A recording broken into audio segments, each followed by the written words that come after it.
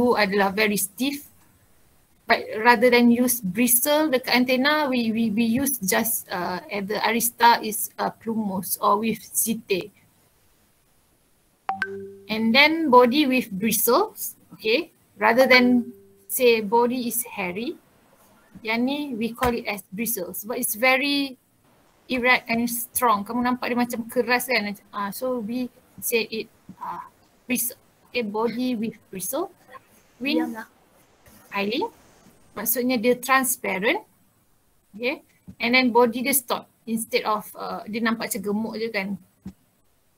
Okay, you can uh, say other thing as well. Apa lagi yang kat sini?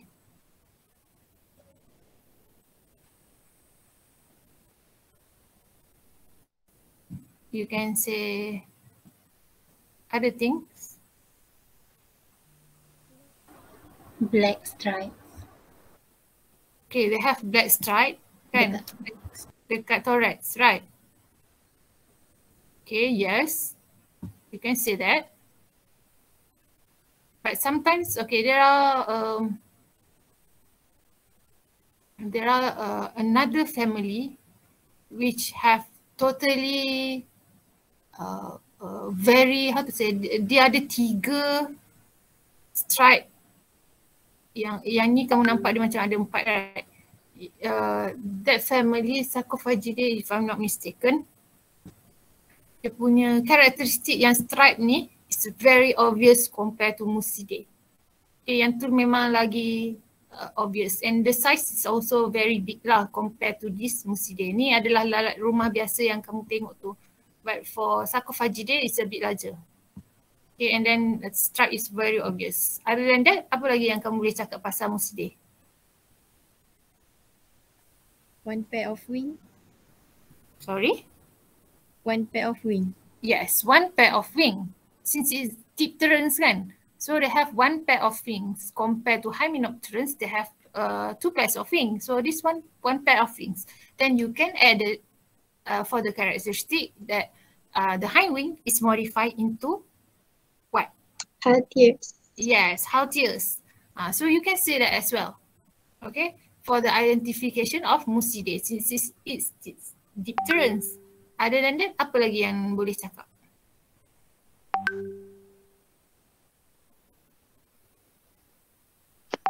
Uh, kalau red compound eye. Uh, okay, red compound eyes. Uh, in the picture, yes, it's, it's red kan. Uh, um, sebab uh, I'm not sure whether we can say uh, sometimes okay sometimes it's actually not fully red okay it's depend on the uh, the how to say uh, the the light the source of light. Kadang kan kamu boleh nampak dia a bit macam greenish rather than red. So but from this picture of course um, uh, kita nampak obviously dia merah lah right uh, but but somehow uh, sebab you you can imagine dia macam uh, mata dia ni kan uh, dia uh, dia, dia seolah-olah macam banyak-banyak screen kan. Remember I said dia macam banyak-banyak screen komputer atau screen TV yang kamu tengok different angle.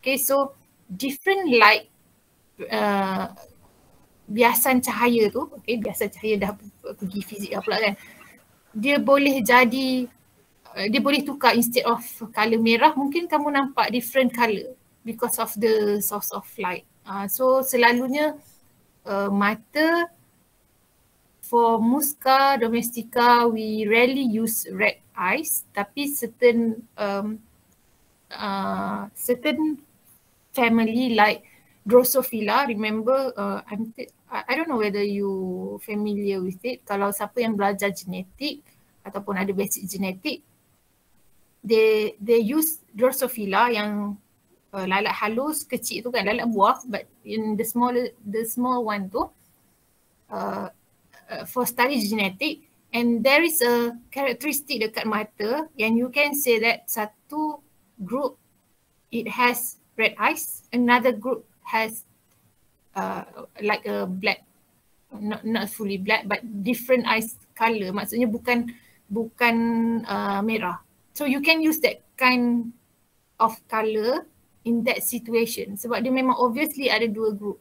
But for Muside, uh, usually we rarely use uh, colours untuk describe mata. But you can say dia punya shape kan shape dia mungkin dia ambil uh, separuh daripada uh, uh, apa bahagian mata ke atau kepala dia tu mungkin hemispherical ke kan? And then um, dia punya there is a wide gap ataupun white space between right and left eyes. Kamu nampak mata kat sini and uh, you you can say that kind of characteristic rather than use okay dia punya mata adalah merah. Because uh, selalunya uh, mata ni sebab uh, color effect from the light so we rarely use color for the eyes lah okay uh, so uh, what the things boleh cakap selain daripada mata, mungkin kepala hemispherical.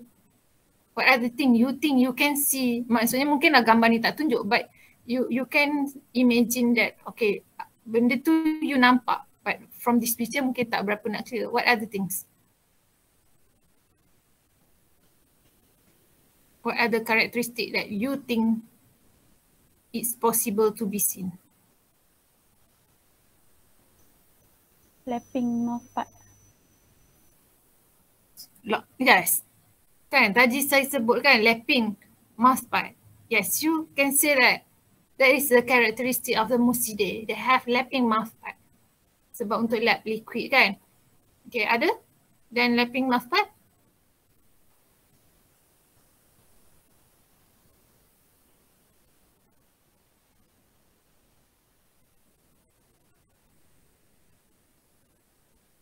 Ada image dah.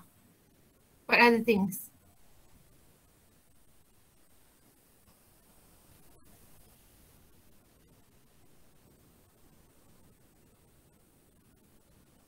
Okay, here in the picture you cannot see very clear lah kan.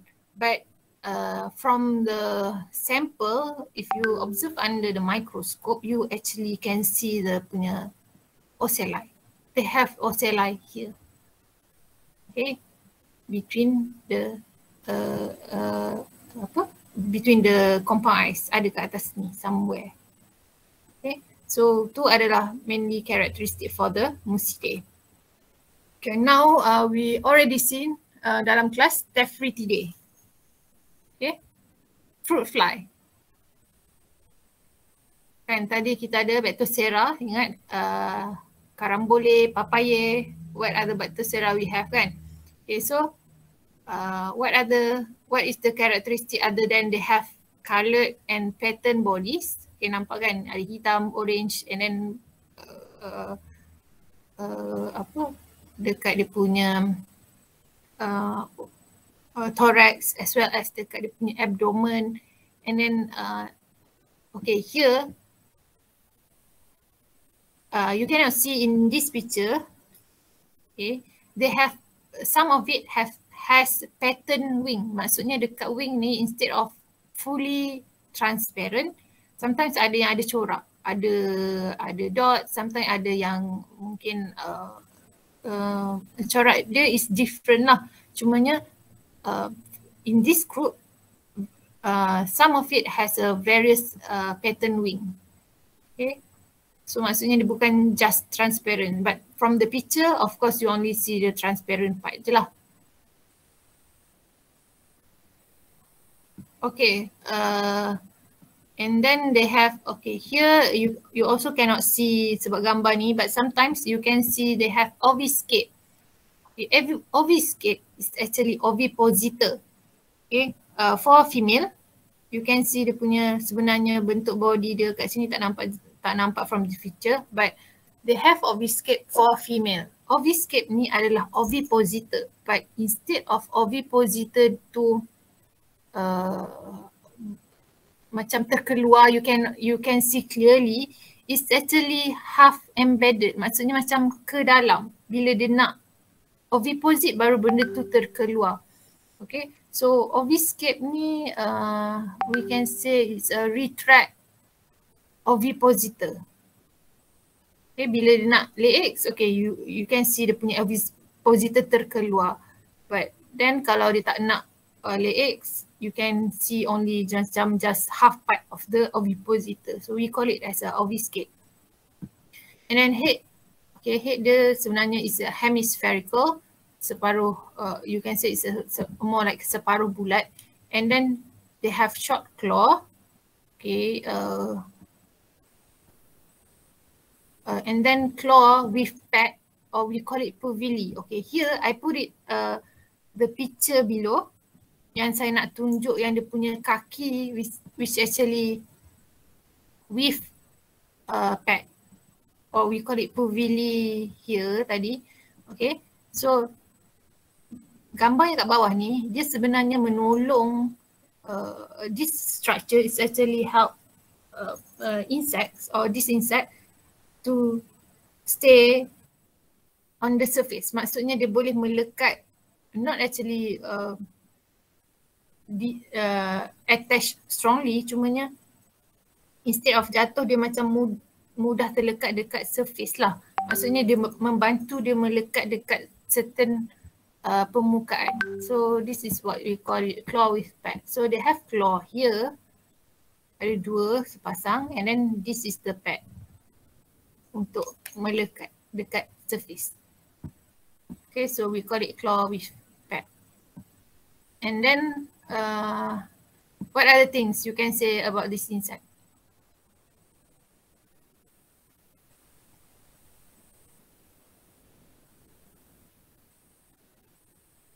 Anyone?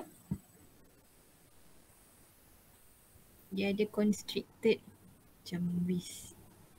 Sorry? Macam ada constricted. Constrict.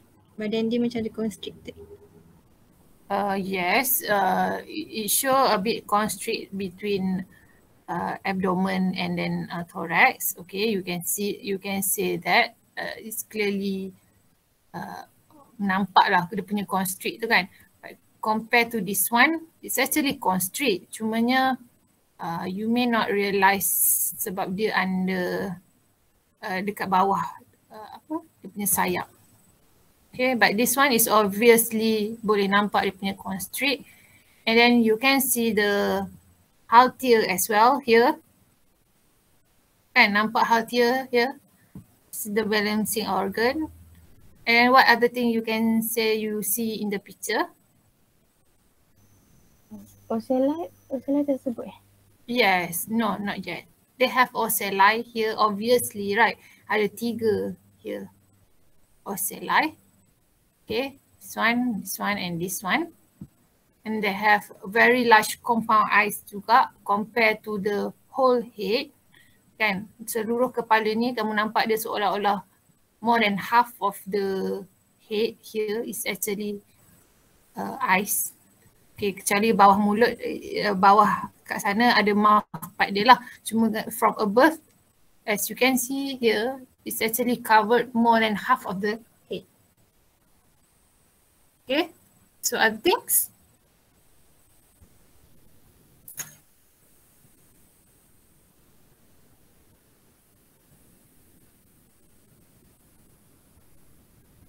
Apa lagi atas, atas Osela itu, Osela juga ke? Uh, no, it's actually it's more like a, uh, how to say ya? Dia bukan stump or something, but it's, it's somehow dia macam structure seolah-olah macam timbul. So dia macam tunggul, but not tunggul of something, bukan tunggul antena ke whatsoever. Dia just muncul. Uh, there there is a name for that sebenarnya, but I forgot. Um, but not all the uh, how to say flies ada this kind of uh, part. So dia bukan horn. It's not a horn. Cumanya dia uh, you you can imagine that uh, I can I can't remember apa benda dia punya nama. But dia seolah-olah macam bajing, macam uh, katalah dia punya uh, surface. Kamu, kamu imagine dia dia seolah-olah macam tunggul lah, but it's not the tunggul of something kamu tahu tunggul kalau kamu kerat pokok dia tinggal batang macam tu kan but this one is actually uh, how to say um, dia punya bentuk tu kepala dia tu satu part tu dia macam bajing macam timbul dari uh, other surface. This one. So yang tiga ni adalah dia punya ocelli but this one is not. This is not the ocelli. There there is a characteristic which is I forgot uh, apa benda. Okay? Uh, what other things boleh cakap dia ada antena ke Of course dia ada antenna. This one as you can see here is oh. actually antenna. Oh yang ujung tu eh? Ah yes, this one. Yang oh, ni kan mulut. Yeah, no, this one is antenna. Okay, right. Uh, okay, like like I said previously, uh, the antenna is actually aristate. Okay, cumanya aristate tu ada macam-macam bentuk. Dia punya arista is totally uh, varied. Maksudnya ada yang arista ada uh, with with uh, hairs, ada yang with uh, uh, ada yang bears, ada yang mungkin a bit memanjang. So it's totally uh, uh, different based on different species uh, or different family, but it's actually aristate. Dia punya type of antenna here. This is antenna cumanya kamu nampak ni yang satu rambut ni pun adalah ciri uh, aristate. Kalau kamu tengok balik your lecture note.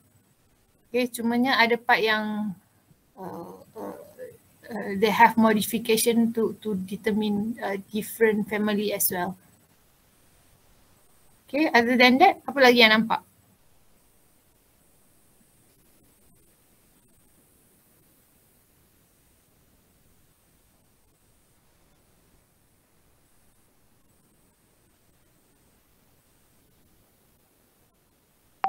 What other things? you can say. Small head. Hmm? Sorry? Small head. Head. Head? What, what about the head? Small then. Uh, small. If, if, if we compare it small than thorax, it is not actually it's not actually quite small lah maksudnya. But of course uh, based on picture you can see it's small. Cumanya uh, when we make uh, when we want to say a distinction between size uh, it's not actually small. It's not actually small compared to the the size of the thorax. Okay? Of course lah kamu nampak ni small. Memang obviously there's a bit kecil. Tapi bila kita compare with uh, the size of the thorax, we cannot say that the head is actually small. It's actually quite large juga. Okay. So the size of the head, uh, maybe you cannot say quite uh, small atau tak, no. I don't think we can say that.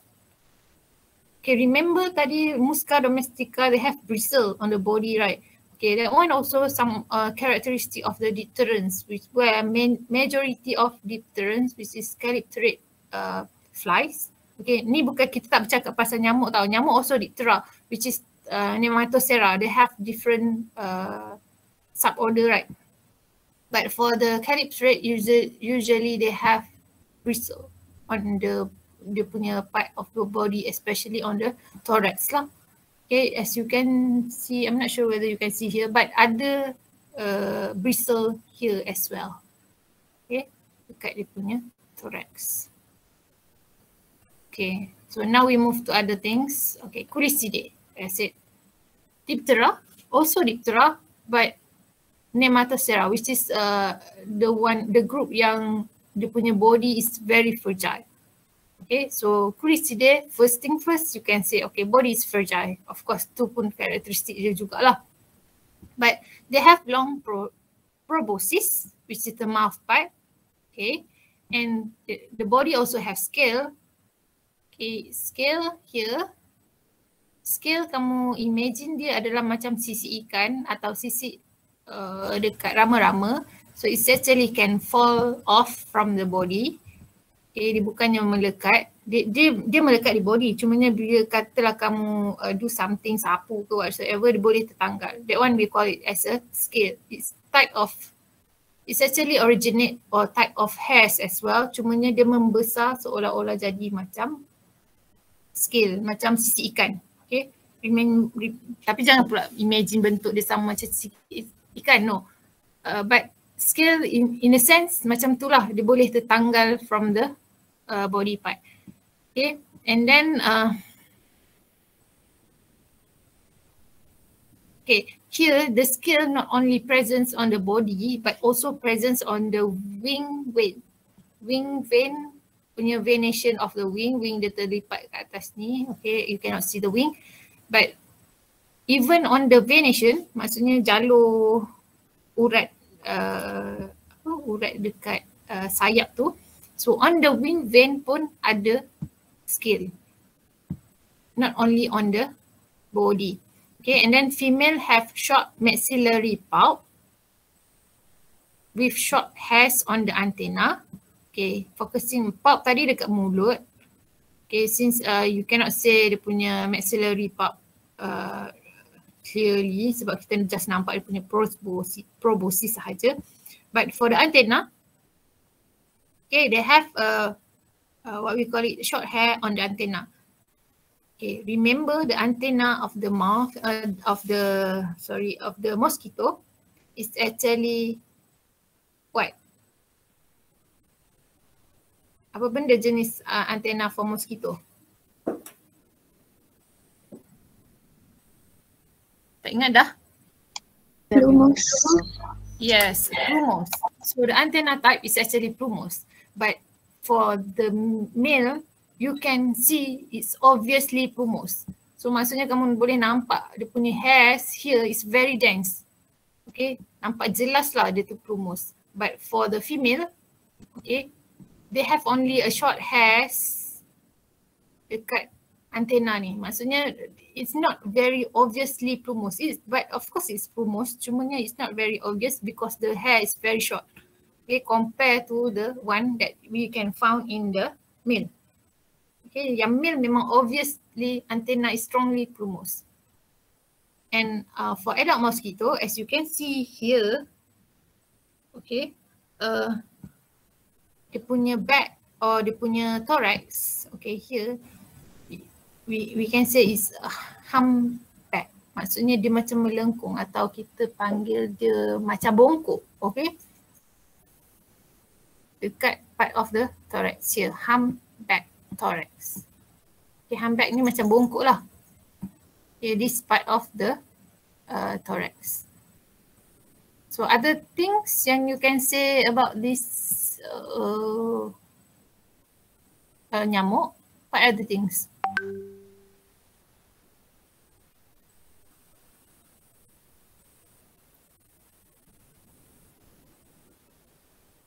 Mouth part? Uh, mouth part? What what you you want to see about the mouth part? Elongated sucking? Yeah, for sucking, yes, of course, and elongated because we call it uh, this one, long pro proboscis. So long proboscis actually refers to the mouth part. We call it uh, rather than big, okay, tadi dekat uh, beetle, dekat beaver we call it big kan. Uh, and then dekat hemipterans also we call it big.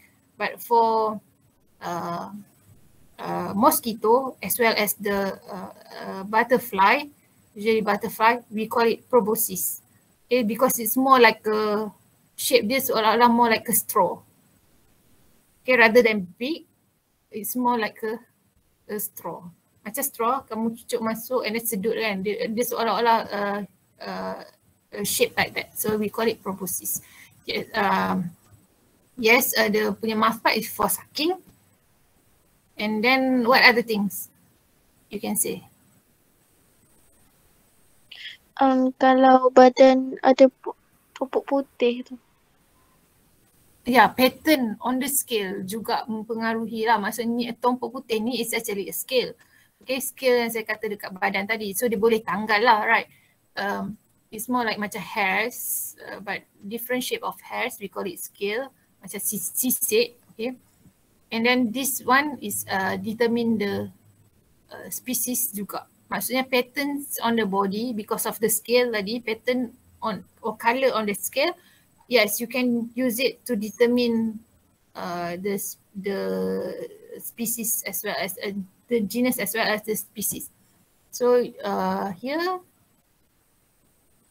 uh, you can uh, say that as well lah.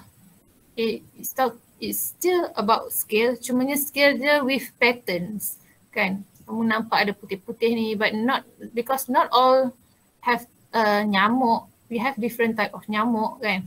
So uh, have the similar type of or uh, similar patterns on the body. So it's totally different. Okay, other than that,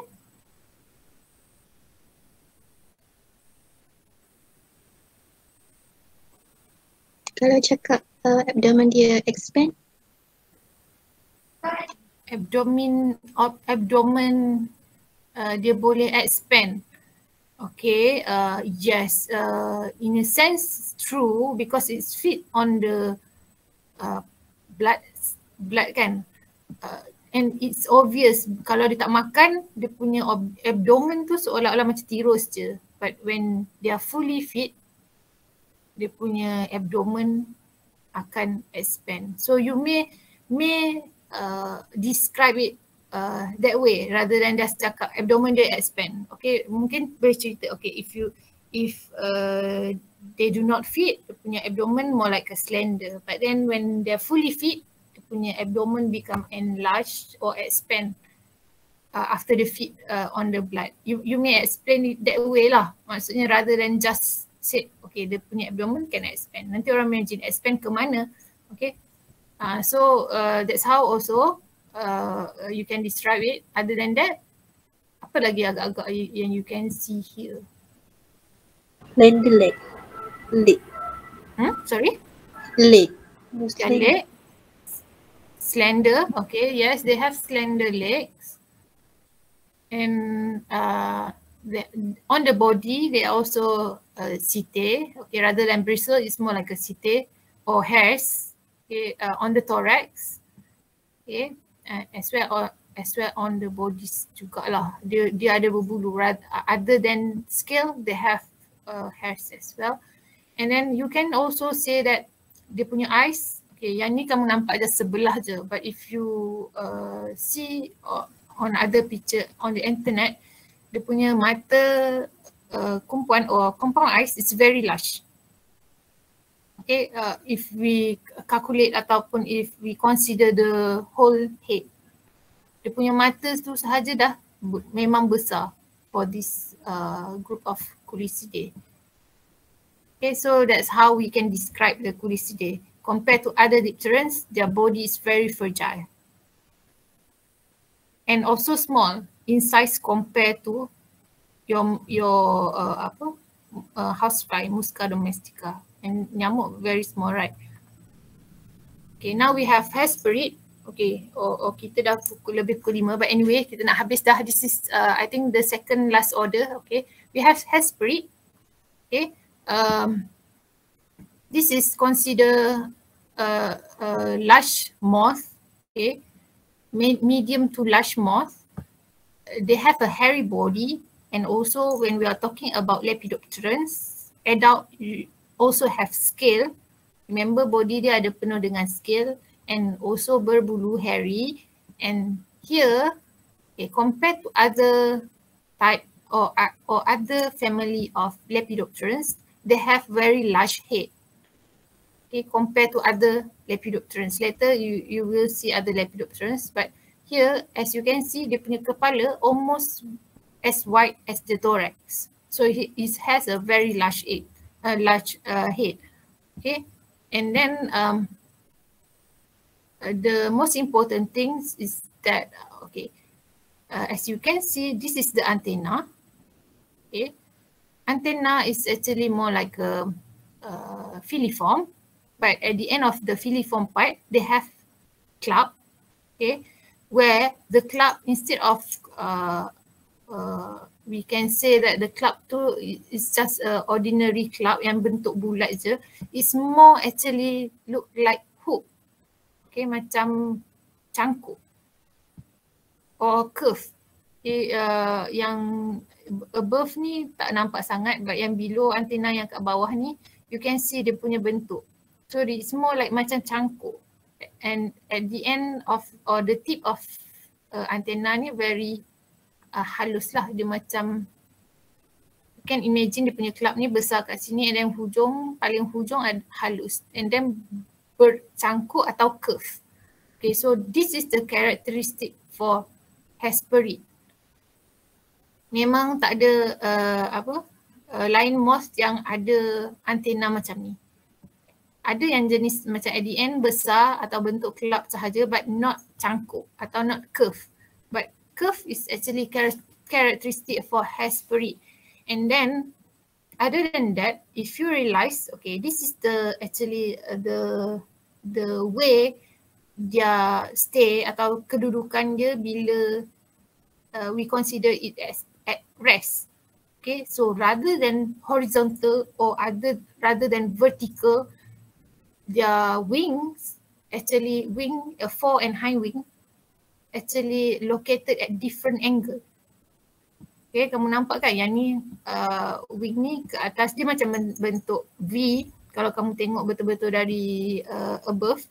Okay, but uh, the hind wing pula duduk seolah-olah horizontal. So their wing, all the four wing is actually uh, located at different angle.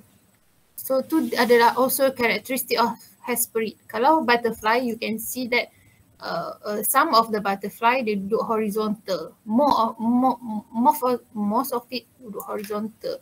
Dan ada yang duduk macam uh, vertical duduk tegak. Uh, ada juga macam tu lah. But uh, most of it adalah horizontal. But for this one dia duduk at different angle. And then the color for Hesperid usually brown. Memang color macam ni. Uh, it's not uh, dia bukan bentuk warna-warni no.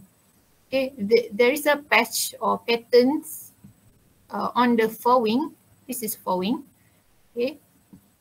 But uh, most of it color dia almost similar like ni brown and patch ni mungkin a bit orange. Okay this is the characteristic of this uh, uh, uh, this Hesperid or Hesperidae okay, skipper. And then uh, what else we can say? Okay, the the mouth part. Okay, remember I said they have proboscis where mouth part is like a straw, kan, coil straw. Imagine dia bentuk coil, coil macam coil obat nyamuk tu. Okay, cumanya uh, bila dia nak guna, bila nak sedut something, nanti coil dia tu akan straight, straighten lah rather than coil. Bentuk coil tu dah Okay, so tu adalah mouth part for this uh, Hesperid. Okay, and then uh, uh, you can say that uh, forewing and hind wing is actually very broad. Okay, uh, yang ni tak nampak sangat sebab tak buka but if you uh, open up the wing, it's actually considered very broad compared to the one that uh, Hymenoptera atau Diptera ada. For this Lepidoptera, they have broad wing for both fore and hind wing. Okay, so two also uh, can use as a characteristic. And some of the species has spur uh, at the end of tibia, but this one uh, we cannot see clearly. Okay, not not not. Maybe it's not uh, the main characteristic for the lah, uh, for the spur. Okay, so uh, here is the Hesperidae. And then we have here, this one, another one, Papilionid. Okay, we usually call it a swallow, swallowtail. Okay, because of the this one, the hind tail, the hind wing with tails. This is the characteristic for Papilionid. Okay, but there are also group of Papilionid yang uh, lacking this type of uh, tails on the hind wing. But most of it, majority have this type of uh, hind wing. Okay, the tail on the hind wing, or we call it a swallow tails because of this characteristic.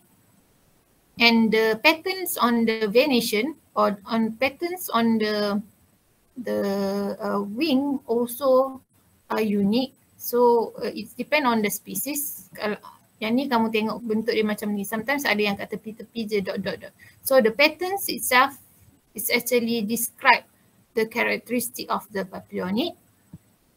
And then, um, okay, they have fully function and fully developed forelegs of both sets. Oh, maksudnya jantan betina dua-dua ada kaki hadapan yang sama saiz dengan kaki tengah dan kaki belakang. Okay, if you look at this picture, this one is not very much clear lah. Okay, uh, but for this hesperid, this, they also have um, uh, what we call it, uh, legs yang almost sama size like others. Cuma maybe a bit uh, smaller. But compared to other butterfly, tadi kita cakap pasal moth kan, hesperid tu is moth. But compared to other butterfly, there is a butterfly yang four legs dia ni, dia ada legs, okay. The function is uh, similar, cumanya a bit reduced in size. Dia macam jadi pendek sikit compared to middle and hind leg. But for papillon ni, all the three pairs of leg usually similar in size. Maksudnya kamu nampak dia punya kaki tu slender ketiga-tiga. Uh, ketiga-tiga pairs. Okay. So that's why one of the characteristic is that fully developed and functioning forelegs for both sets. Sebab ada yang uh, very uh, a bit reduced. Okay, like uh, the antenna here, you can say that antenna juga uh, filiform, but at the end is uh, form a uh, how to say a club. But now the club dia bukan bercangkuk like Hesperid. Dia just a normal club. It's just a bit besar at the end or at the tip of the antenna. And if you look at the the uh, head, okay, compared to the Hesperid, we consider it, uh, the head is actually quite small. Okay, even though the punya thorax also small, but the body is actually quite large. Okay, so the head we can consider it as the uh, small size compared to the Hesperid, this one. They have a, sebab ni kamu tengok dari sisi, but if you look at uh, from above, it's actually quite large, the head compared to this one. Okay, so this is the characteristic of uh, the papillonid. And uh, venation, okay, the type of venation juga menentukan uh, uh, either dia ni adalah papilloni ataupun dia ni adalah other type uh, other families of uh, lep, uh, of lepidopterans or uh, butterfly ni tak sama tau dia punya wing venation on the wing okay as you can see here this is venation of wing but for this butterfly you can say that the, dia punya colours uh, black with dia punya dot uh, white kan? And then there are part of colourful here at the end uh, not at the end uh, which is on the hind wing. Tu pun juga boleh jadi ciri menentukan uh, species of this uh, papillonid and then both forewing and hind wing is very broad. And to the characteristic dia very broad and ni besar. Kalau kamu buka dia memang besar. And then both adalah membranous even though covered with scale. So dia tak transparent but it's actually membranous. And usually uh, the body or the even the uh, wing also very fragile. Dia macam mudah patah. And scale dia easy to uh, tercabut kan. Sometimes uh, you, will see that um, macam pattern ni some part of the pattern dah hilang. Not because of the uh, different species. It's just that uh, dia punya scale is actually tertanggal daripada dia punya sayap. Because the, the of the scale is actually yang menentukan pattern on the wing okay so maksudnya scale kat sini is putih scale kat sini hitam so kalau tertanggal scale ni and then you will see different type of colour which is dull macam kelabu je kan tak nampak apa because of the scale tu dah hilang. Okay, so this is the characteristic for papillonid. And then last order we have here is odonata. Okay, uh, we we only see two family which is Lib Libellulidae and then another one is Eschnidae. So Libellulidae they have pattern swing. Okay, pattern swing not only this type of color, there are also other type of color. There are purples, ada yang color purples, uh, ada yang a bit darker like dark brown. So ada yang totally hyaline, maksudnya tak ada color langsung juga ada. But most of it has a we consider it as a pattern wing and also distinctive color on the thorax and abdomen where okay for this one thorax and abdomen dia ada color um, uh, reddish. But there are also uh, uh, apa there there are also uh, individual yang dia punya color on the body or, or on the thorax and the abdomen is actually different from the one uh, yang maksudnya uh, badan dia mungkin you see color merah ataupun mungkin sekerat abdomen sahaja color merah but uh, uh, uh, thorax mungkin ada color lain okay? So tu adalah what we call it here pattern wing and distinct color on the thorax and abdomen. Cumanya contoh dalam ni this is uh, neurotherm neurothermis uh, I think neurothermis tulia if I'm not mistaken, but it's neurothermis. Okay, so dia ada color merah macam ni. Okay, different species you can see that the punya expansion of color merah ni is totally different. Ada yang sedikit je merah kat sini, ada yang a bit uh, larger. So tu juga menentukan dia punya characteristic of the uh, uh, family and genus as well. Okay, so color or distinct color on the wing and body. And then um, they also can be recognized by notch of the posterior margin of the eyes. Okay, notch of posterior margin of the eyes where uh, yang ni tak nampak sangat because uh, dia sebelah je. Uh, but it's actually somewhere here. There, there is a se- uh, separated between eyes sebelah ni dengan sebelah sana. Okay, uh, for different family ada yang dia punya eyes tu maksudnya dia macam seolah-olah bercantum dua kiri dan kanan as well. So uh, that that is also the characteristic that we have to look for bila kita dapat sample of Odonata which is dragonfly. And then for this libellulid family, okay, they have anal loop. Anal loop is actually loop uh, a part on the hind wing here, like I highlighted here. Okay, ni saya highlight color biru. This is what we call it. Anal loop is actually foot shape dia seolah-olah macam bentuk macam kaki lah if you see. Uh, it's not actually kaki or stokin tapi it has that kind of shape. Okay ni sama juga yang contoh gambar kat bawah. Okay this is the part where we call it analu and this part only appear on libellulid okay this is the characteristic of libellulid and other than that they have membranous hind and forewing okay which is uh, forewing ni, hind ni mungkin almost similar uh, uh, in size. Sometimes uh, a bit shorter lah compared to forewings but it's broader than forewings. And then dia punya abdomen here is very slender. Kan nampak macam kurus, tirus je. So it's very slender. And then uh, uh, what other things? Okay, the the compound eyes is very lush.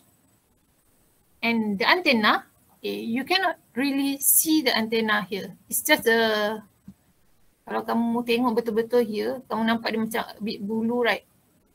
Macam halus bulu satu kat sini yang a bit thicker. Okay. This is what we call it cetaceous cetaceous antenna. Okay dia macam macam satu sitir Cumanya still ada scape and pedicel tu lah. Part yang kita belajar dari segmen-segmen scape pedicel tu, they still have that one. Cuma dia seolah-olah dia macam bentuk halus, macam rambut je. So we call it cetaceous. And this antenna is actually on the, uh, found on the odonata. Okay, dia not very much clear, cuma dia macam rambut a bit thicker here, very short. Okay, so this is the lipolid.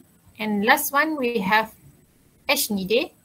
Okay, the size compared to Libellulid uh, a bit bigger. Okay, and in fact, uh, the biggest Odonata is actually come from this family.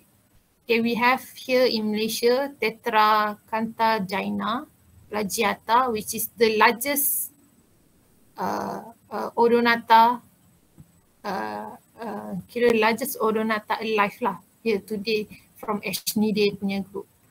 Okay, and then um, the characteristic mostly are coloured blue or green.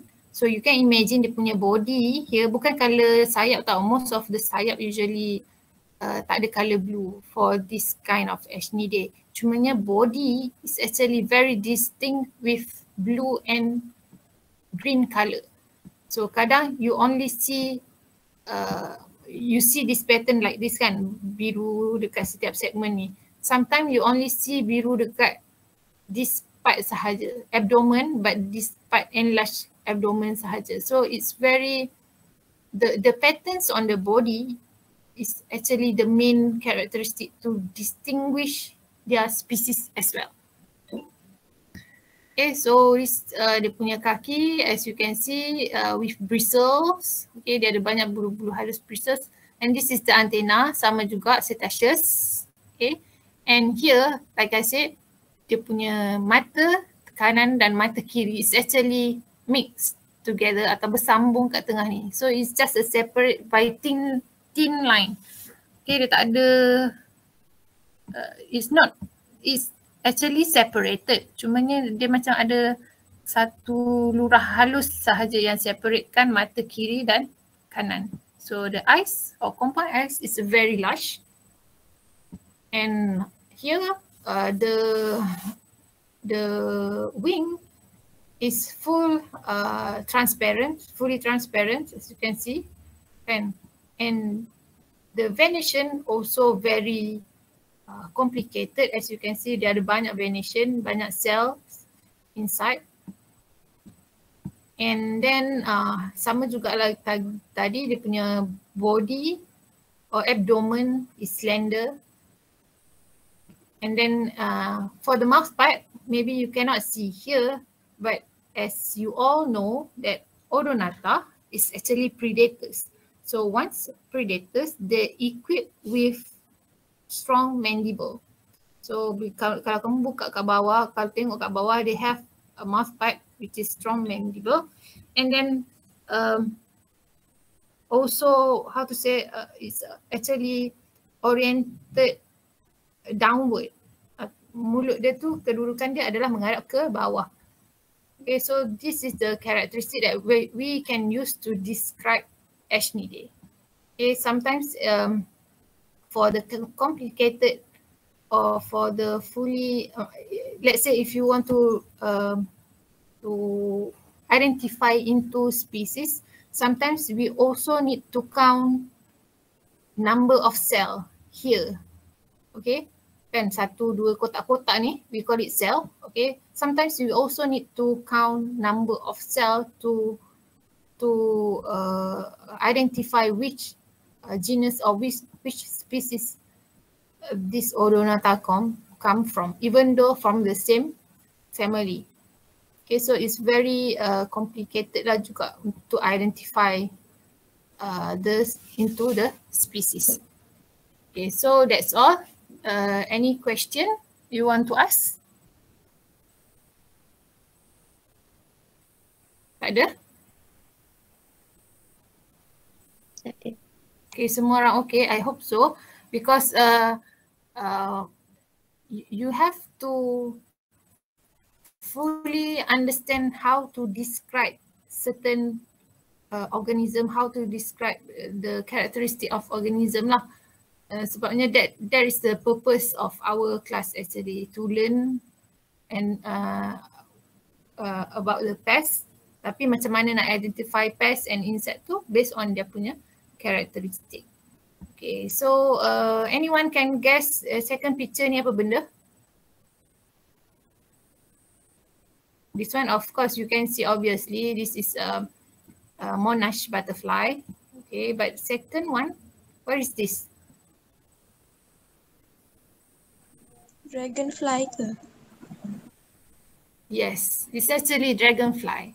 So this is dragonfly that emerged uh, from the uh, dia punya uh, uh, neem here. This is the neem that actually live underwater. But now of course dia dah jadi exuviae lah. This uh, what we call exuviae adalah uh, bila dia mok, dia, dia salin kulit. Okay, bila dia having ecdysis, pertukaran kulit. And then they have uh, bahan tinggalan. We call it as a exuviae. And this is the the the one that come out which is adult. Okay. So adult ni kamu nampak dia tak ada rupa macam dragonfly lagi kan because uh, it will take time sometimes about a day so uh, for for them to fully I mean fully enlarge so macam mana dia enlarge dia punya sayap sayap and so on nampak sayap dia masih tergulung kan by taking uh, air. Maksudnya dia sedut udara so that dia macam pump ke seluruh badan dia so that dia menggelembung and then jadilah struktur uh, the final structure, final size yang dia nak. So that's how uh, ecdysis work ataupun molting work.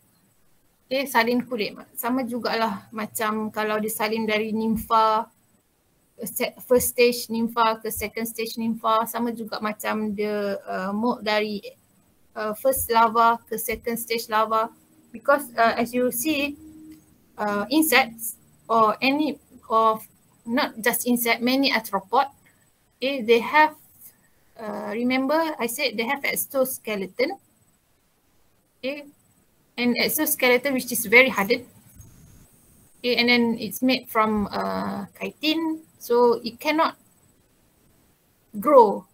Dia tak boleh membesar. Dia tak boleh enlarge. Katalah kalau size tu adalah dia punya size larvae tu uh, panjang 1 cm. So it cannot grow more than 1 cm. So macam mana dia nak grow more than 1 cm? Dia kena buang dia punya kulit asal. Okay. So that's how we said this is atau molting process. Bila dia buang kulit asal and they come out with a new uh, skin sebelum salin kulit tu dia dah ada skin kat dalam lah maksudnya. Okay, cumanya skin tu is not very hardened. Uh, the the chitin or the part is not hardened. So they will going through the process what we call it as sclerotization. I'm not sure whether you can you remember ke tak. Proses di mana dia keraskan kulit dia. Okay, waktu tu lah juga dia macam okay kembangkan dia punya badan sampai maksimum, kembangkan dia punya sayap and then keras. So it will take a few, uh, depending on the species, it will take a few minutes more, sometimes uh, about a days just untuk keraskan ataupun uh, apa, uh, reach the maximum or the maximum size of the, insect lah. Maksudnya dia mengembang betul-betul dah nak rupa dragonfly. Tapi waktu dia keluar ni of course dia bentuk macam very ugly. Tak ada bentuk like dragonfly lah. Sebab waktu ni dia still perlu proses untuk kembangkan badan sedut udara pump ke seluruh badan. Okay so this is the how the process work. Otherwise dia tak boleh uh, berkembang. Dia tak boleh uh, develop atau membesar. Okay so uh, that's all I will end. Uh,